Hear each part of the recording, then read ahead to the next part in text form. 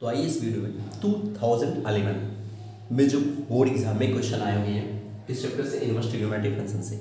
आइए वो चैप्टर क्योंकि 2010 में जितने क्वेश्चन आए थे वन मार्क्स वाले, वो हमने दो वीडियो में डिस्कस कर लिया आपसे। तो आइए, ये eight nine ten one one marks के क्वेश्चन है। और भाई, मैं पहले भी बता चुका हूँ कि ये सारे क्वेश्चन एक ही सेट में नहीं मिले भाई, कई सारे सेट होते हैं सी बोर्ड में। तो किसी सेट में ये क्वेश्चन आ गया, किसी में ये आ गया, किसी ये में आ गया। टू थाउज़ेंड बट ये अलेवन के हैं।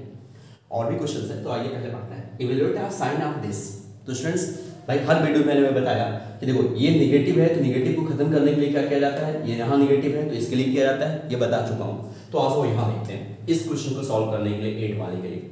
मैंने ऐसे लिखा साइन पाई बाई थ्री यहाँ माइनस देखो, इस माइनस को खत्म करने के लिए क्या करते हैं? इन तीनों के लिए माइनस को बाहर कर देते हैं। तो ये माइनस जैसे ही बाहर करेंगे, क्या हो जाएगा? प्लस और यहाँ आ जाएगा sine inverse one by two अब आप जानते हैं साइन के लिए वन बाई टू कब होता है? थर्टी डिग्री पर होता है। तो आपने लिखा साइन पाई बाई थ्री और प्लस कब होगा ये?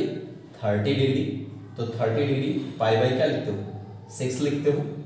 याद रखिए साइन साइन कैंसिल हो गया। अब इन दोनों को एड कर तो स्टूडेंट्स जब एड करोगे तो क्या आएगा? साइन हो जाएगा। और pi by three plus pi by six LCM six आएगा। थ्री टू जब two pi plus pi three pi आ जाएगा। सॉल्व करोगे तो टू आ गया, यानी साइन पाई बाई टू आ गया। और साइन पाई बाई टू की वैल्यू कितनी? वन तो आसान क्वेश्चन है तो वन नंबर का है भी। अब दूसरे सेट में मान लो, ये आ गया। कह रहा right the principal value of this इसके जस्ट प्रीवियस वीडियो में अभी मैंने बताया कि डोमेन और रेंज तो भाई, ये ऐसे डायरेक्ट कट करके seven pi by six answer आप नहीं लिख सकते। क्यों? क्योंकि कॉस इनवर्स का जो एक्स का जो डोमेन होता है, वो तो माइनस वन प्लस वन होता है। लेकिन रेंज क्या होता है? ज़ीरो से पाई क्लियर ये रेंज है। तो यहाँ जो वैल्यू अगर कॉस लिखा है तो इसकी जो वैल्यू आनी चाहिए, वो इसके बीच में आनी चाहिए। तो डायरेक्ट अगर किसी बच्चे ने लिखा तो गलत और ऐसा देता भी बोर्ड एग्ज़ाम में कि पहला ऑप्शन यही दे देगा।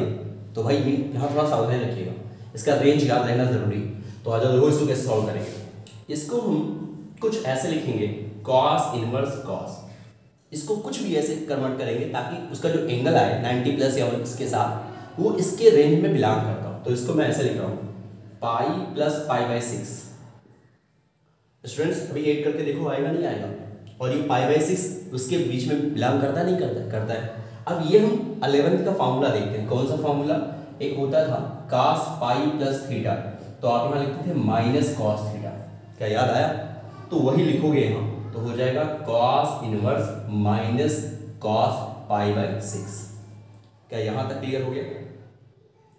अब यहाँ तक क्लियर हो गया स्टूडेंट्स तो अभी ये माइनस है। ई कॉस इनवर्स है तो यहाँ देखो लिखा है। माइनस को खत्म करने के लिए पाई माइनस आप करते हैं। तो आ जाओ, यहाँ हम लिखेंगे ऐसे। पाई माइनस कॉस इनवर्स अब ये माइनस खत्म हो गया। आ गया कॉस पाई बाई सिक्स ये कॉस कॉस कैंसिल कर दो। तो आंसर क्या आया? Pi minus pi by six अब सिक्स पाई माइनस पाई तो फाइव पाई बाई सिक्स आ गया। ये पाई से छोटा है नहीं। और ज़ीरो से बड़ा है। तो ये बिलोंग करेगा कहाँ? ज़ीरो टू पाई में।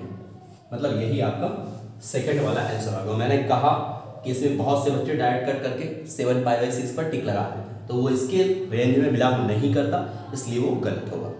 क्या दोनों समझ में आ गए?